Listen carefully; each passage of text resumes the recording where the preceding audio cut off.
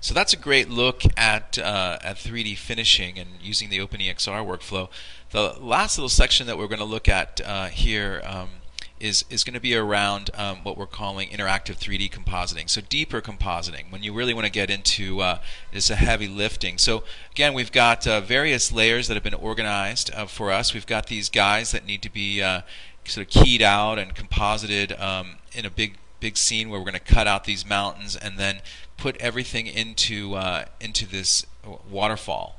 So, so this is really one of the signature shots in the entire piece. Lots of compositing work, lots of work went into this one. Exactly. So we're going to take this whole collection of, uh, of elements, and we're going to again we're going to enter the uh, the post batch effects, and this time, instead of breaking everything out into action, we're just going to split everything out into tracks and layers. So it's a third option that allows us to get into deeper compositing because now maybe we want to organize these elements through a different series of, of, of steps uh, using all the various uh, creative tools within Flame's batch environment.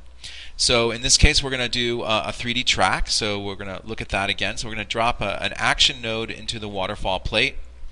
And again, go to the 3D tracker, but instead of this, using the auto detect, this time we're going to use the free 3D motion option because this was shot from a helicopter, uh, and that's a very uh, great um, uh, usage of the 3D tracker. The free 3D motion will actually enable us to, to capture that motion from a helicopter shot. So here, once that's solved, you can see when I scrub through, we've got our, our various tracker points laid out. Uh, let's again switch into a, a, top view to look down on the scene, see what's been created. There's our point cloud. Another good way of looking at this would be to turn the background off altogether. That, that really helps you see and visualize how the point cloud has recreated that scene from that you know 2D, uh, 2D scene uh, into a 3D environment. We don't need the, uh, the original camera anymore, so we'll go ahead and hide that. And let's put the, uh, the background on because what we want to do within the point cloud now is we want to figure out exactly where uh, we want to place objects in the scene. So it's really great that we get the point cloud and we also have uh, little um, tracker marks that we can select. So if I wanted to put something, and in this case I want to put the, the guys on top of the, uh, the waterfall here, I'll select that one point and create an axis. And notice in the schematic view now, we've got uh, an axis that I can then change its name. This would be relevant for uh, use within a 3D application. So if I were to rename that waterfall, that name would show up uh, at, with that location in my point cloud. Um, so that would allow my 3D artist to, to use that uh, uh, as a relevant place placement for some object in the scene.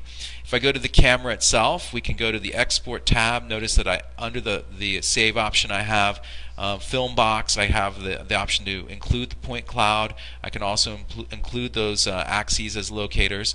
And again, I can just save that out for a 3D program like Maya. Now, now in this case, we're not actually sending anything to, to a 3D program. That's just an example.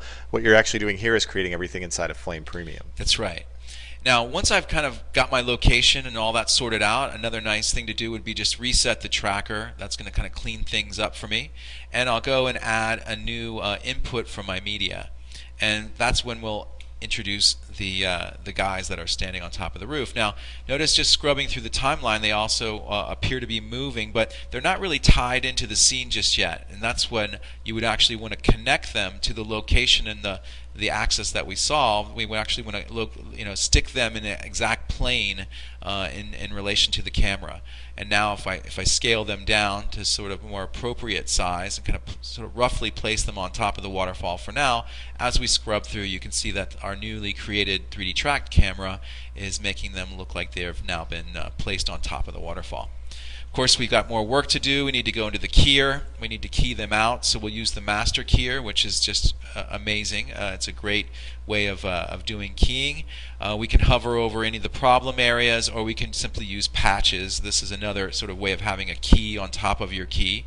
Uh, and of course, we can also, you know, shrink and erode our our our, our matte as well or we can go directly to our, our garbage mask tools where we can start to, uh, to mask out any of these areas that we do not want. So we need to obviously remove the building. So we'll just quickly do that. We can also have a combination of linear or Bezier handle points, of course, and sort of clean this up, get this exactly as we want it. And then when we look at our matte, we want this to be uh, you know the color to be taken down. The other thing we could do is uh, is just you know use a hotkey to just freehand draw shape, so we can have a combination of masks. Uh, here, in this case, we want that on the outside and bring the color down. And uh, of course, as I mentioned before, we can shrink and erode the edges. Now, if we zoom in, you can see this is working pretty well. I did a pretty good job of, of, of placing them initially, eyeballing them into place. Uh, but notice if I if I place them on top in the center, the guys on the left and the right are not actually um, falling uh, on, on the top of the, the frame of the, the waterfall the way that I'd like. So this is when using something called an extended bicubic comes in handy. We'll switch that surface to an extended bicubic and subdivide that surface. This is going to allow us to kind of bend and, uh, and reshape this image to uh, to allow us to place them uh, more flexibly exactly where we want them on the uh, on the rocks here. So again, that's a, a, a, nice tool for that. And when we scrub through now, you see that that extended bicubic has them kind of coming up over the uh, the edge of our scene. Now there's some other things that we might want to add into uh, this scene. Um, if we went to the, the particle presets, uh, the 3D particle presets tab, let's scan down through the, the subdirectories and the different categories here. Um, there are a lot of different useful things here um, for creating atmospheric type effects. Uh, in this case, maybe we'd want to use something like a waterfall. It's it's not. Uh, uh, it's a funny coincidence that there's one for the waterfall here. Notice I can I can start to place that in my scene, and if I rotate this around, you can see that they are in fact 3D particles. Um, because they are 3D particles, I can also light them, right? So I can I can start to add lights to the scene, maybe move this light back a bit, change its intensity a bit, and as we scrub through, you can see now that we're our 3D particle generator is just pouring off some water in the in the scene. I was going to say this is a great way if you want to get up to speed with particles quickly you know, because you load the presets and you actually see how they're built. Yeah, exactly. So it's, a, it's, a, great way to go to school on how they're how to create your own particles. Uh, something that might be a little bit more appropriate for this would be um, maybe this atmospheric uh, effect where we've got the particles sort of coming up from below, uh, from the waterfall below. So we're just going to move them down a bit. We could also go in and, uh, and maybe uh, divide the texture uh, so that we've got a little bit more of a white sort of surface coming out. And you get the idea with a little bit more time and, and, and placement, uh, we can get something that would integrate pretty well into this scene. Now let's again move ahead. We'll, we'll go to our, uh, our final version of the scene. We're going to bring everything out of our uh, custom node bin there. And we're just going to feed this result back to our timeline. Now, let's take a look at, uh, at, with a little bit more time and patience, what we can come up with is something that uh, that looks like this. We've got uh, some foreground guys keyed uh, as well. Uh, we've also replaced the uh, the volcano um, with some more mountains in the background, and we've also got we've also got you know some particles that that have been placed in the the bottom of the scene using that same technique that I was showing you before. If we switch to the, the working camera view, this, this highlights it a bit better. You can see now, now as we scrub through, we can see that uh, we've got our, our 3D tracking uh, for our, our foreground elements, and of course we've got, um, we've got all the, the cutout matte painting in the background. Now back to this this scene, what we want to look at now is is the multiple outputs from this particular scene. Now maybe we want to to use the multiple outputs uh, for grading in a little while. So so that's something that we can really set up here on the flame side to then reuse over in Lustre. Yeah, and I think this again is really important. So what changes about using Flame Premium is uh, you really start to think about the options that you have. Not just you're not just doing the the visual effects. You actually have a lot more control. And in this case, and you'll see in a few minutes, we actually have uh, a full set of professional real-time color grading tools. And while those color grading tools have great masking and secondary capabilities, um, you've seen how Bill spent a lot of time getting these masks just right. So this is actually a great way to take that data that was done in Flame and reuse it in grading. That's right. So if we look uh, at the multiple outputs, I'm able to uh, to send those into a combine node where I can take the uh, individual uh, mattes and put them into the RGBA channels to then use those inside of Lustre.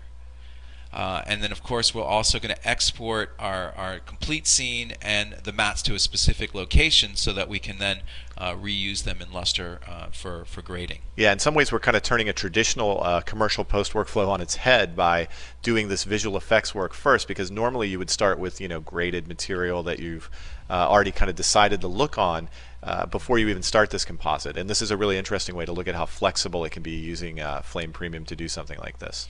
And again, here is the uh, the two batch effects scene that we had seen earlier.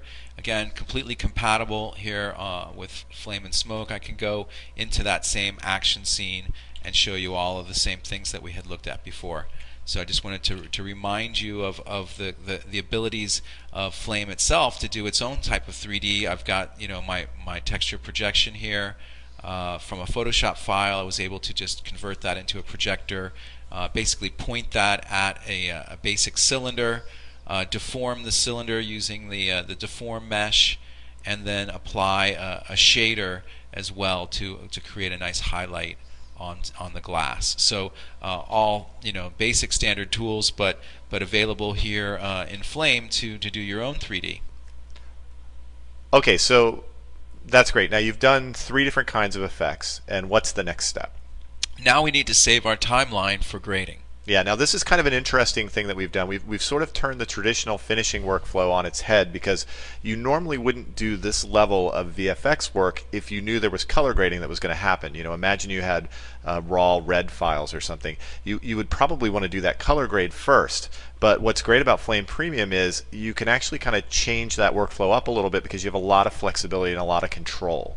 So how do you prepare this timeline to go to grading? Well, it's as simple as just saving it into a library. Uh, in this case, I do it manually. I just create a library called For Lustre. It's sort of a Dropbox for Lustre, and because we can actually browse from Lustre uh, into the Flame and Smoke uh, libraries over Wiretap, we'll be able to just pull pull that right in. So there's no duplication required. No. It's all ready to go. Yeah, it's really simple.